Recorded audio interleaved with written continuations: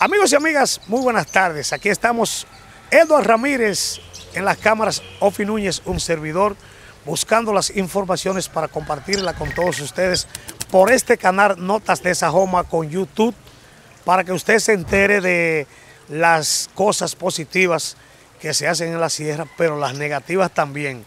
Así que pues no somos un programa como quizás alguien le quisiera llamar que solamente estamos en la parte negativa. No, también decimos lo positivo. Por ejemplo, esta parte de estos arroyos, eh, hay uno de ellos que le llaman arroyo blanco, el otro nace de un aljibe por ahí.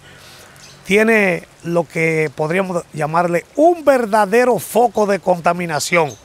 Y no se lo vamos a presentar aquí, pero todos ustedes lo saben, los que viven en estos alrededores y los que nos conocen eh, haciendo estas informaciones. Por aquí animales como ratones, gatos, perros muertos, eh, que contraen consigo mismos mal olor y provoca enfermedades para los que pues están cerca del mismo, pues esto eh, es bastante, pero bastante difícil residir en un lugar como este, en donde pues por culpa de las autoridades, porque a las autoridades es que tenemos que culpar.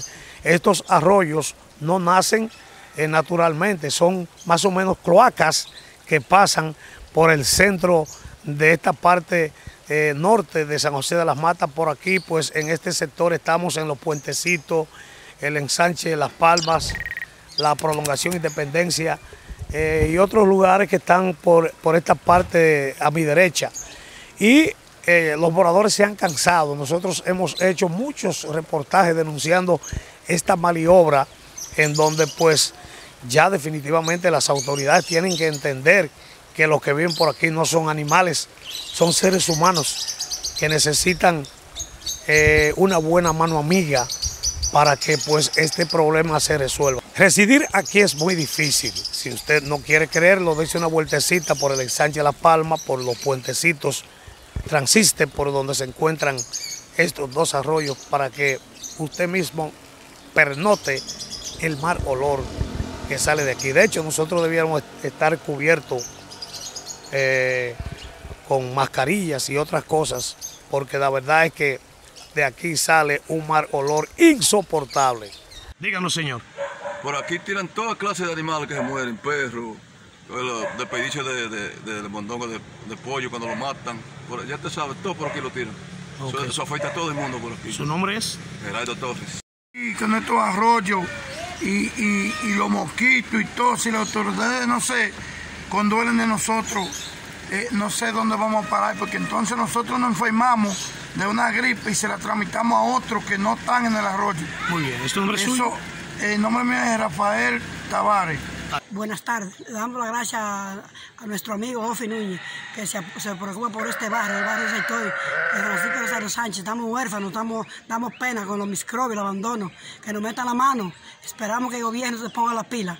Muchas gracias. El mal olor de las El mal olor, el mal olor de la caña, que damos pena, eh. No, no, no, trae como consecuencia enfermedades, entre otras cosas. Sí, sí, los mosquitos, a los niños nos hacen daño y todo, y los ratones. Le damos okay. las gracias a Ofi Núñez. Buenas nombre, tardes. ¿Su nombre es?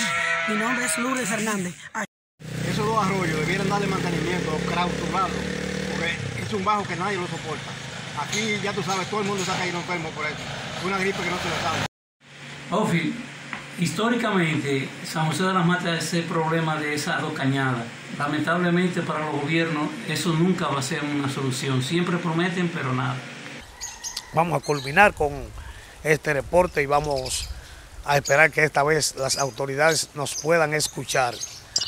Salud pública, ayuntamiento, el gobierno actual, todo el que se quiera integrar en esta campaña, que de hecho lo es, porque estas personas tienen mucho tiempo, no solo eh, esta gestión, sino más bien los otros gobiernos pasados. Pero estamos en el gobierno de turno y el gobierno de turno debe de entender.